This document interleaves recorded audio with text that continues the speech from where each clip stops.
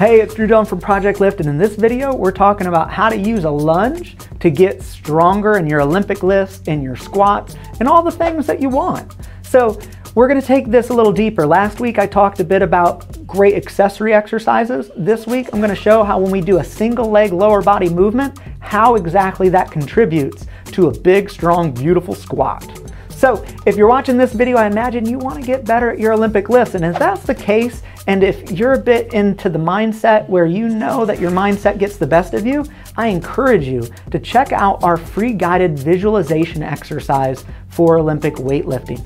It's going to take you through a visualization where you can start to understand how to use the power of the mind to get better lifts and better performance. Now, once this video helps you, smash that thumbs up button, share it forward, share it with a friend, and make sure you subscribe because new videos are coming each week.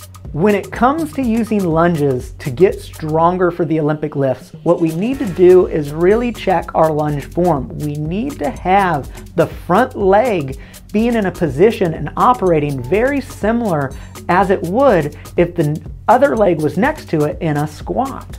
So this is what I want you to aim to do, is we're gonna make sure we're really loading that front leg and coming down into a lunge, keeping that front leg in this position that you see here, which mimics that squat position. Then we're driving back through the foot of that front leg.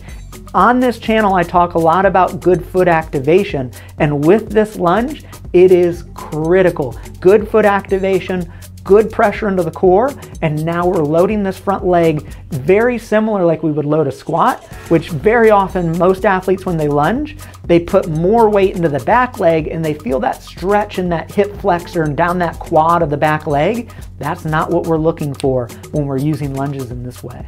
The second point I want to highlight when it comes to using the lunge to get bigger squats, get bigger Olympic lifts, is what it's gonna call up is it's gonna highlight imbalances. You're gonna notice one side's weaker than the other. You're gonna notice you wanting to shift to one side uh, in, in a certain way at different times.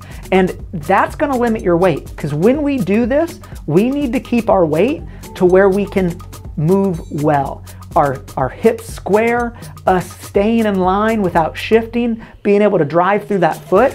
And this is where a lot of athletes panic because they're like, oh my God, that's so much less weight than my squat.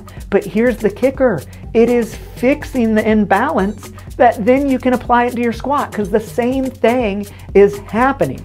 You'll notice if you're lunging, if you shift to the side of your front leg, I guarantee you that your knee drops in on that side in a squat at higher intensities as well.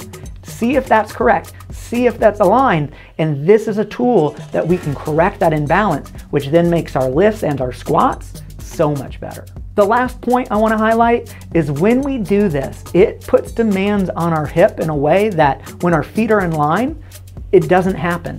And these demands are excellent for the health and longevity of our hip and lower back. So by doing this, and again, I mentioned how it fixes imbalances, the demands it puts on our pelvis and our hip keeps our hips and pelvis and lower back much healthier than if this wasn't in our program. And that's how the lunge can give you a bigger squat, bigger Olympic lifts, and one thing I didn't even put in the title, more longevity. So try these out. What questions do you have on them? Leave them down in the comments. I want to know.